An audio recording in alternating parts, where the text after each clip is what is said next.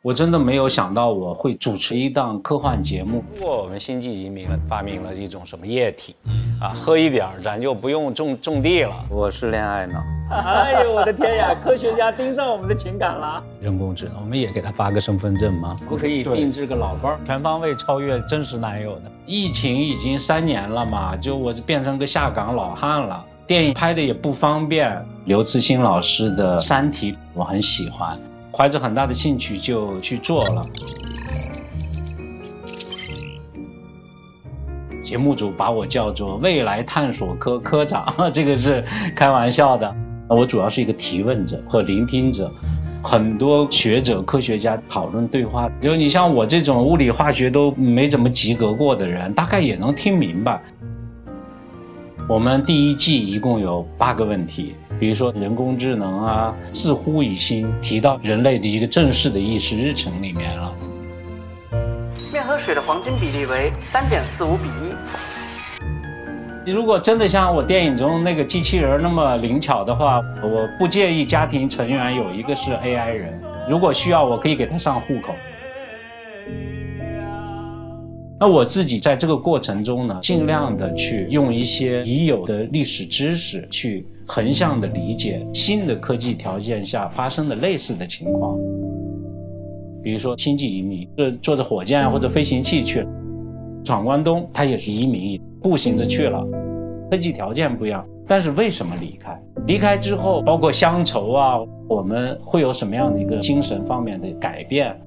太阳系进行恒星际间的星际旅行，很可能我那面说一声问候，你要十几年甚至大半生的时间才能回答我。嗯，这是大自然给我们设下的一个很残酷的屏障，很可能导致未来这个星际之间的这个文化鸿沟的这个急剧扩大。其实本质上的很多问题是一致的，比如说大数据安排的这个爱情。他就让我想起了著名的征婚者蔡元培先生嘛，贴了一个征婚启事，一个女性，她有以下特点，一二三四五，但现在她就可以采集成大数据，进入数据库，在虚拟世界能够结缘。从文学史或者戏剧史或者电影史上来看，就是我们所讲所谓凄美的爱情故事，大部分都是不被不 被大数据祝福。这跟大数据不矛盾，只是大数据帮你选择的目标到底是。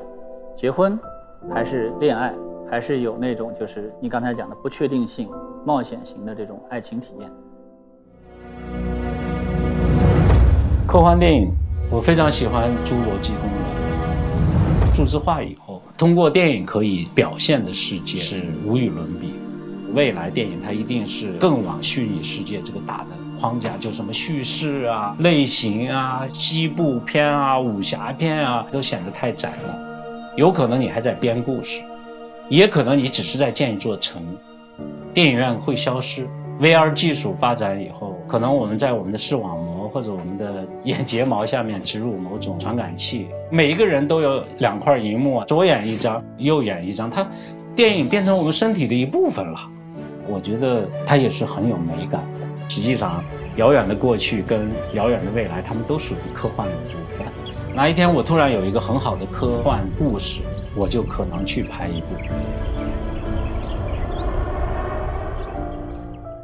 几乎所有科学家，科学把我们人类带到哪一步，不以我们的主观意愿改变，这个是让我很震撼的。在这样的一个不可停歇的技术跟进过程中，如何去避免负面的使用？两年前有一个人大的议案。就是提议对数字生活中的老年进行帮助，因为他们适应不了新科技。呃，有一期我们是讨论脑机接口，人类确实一直有这种永生的渴望，呃，有点恐惧。哲学基石是建立在死亡上，如果永生了，人类进步的内驱力也会发生根本性的改变。它确实让我们值得深思。我觉得人本身是造物主一个最精巧的设计，坦然接受你的身体的变化、年龄的变化，每一天都是欢喜的，对我就足够了。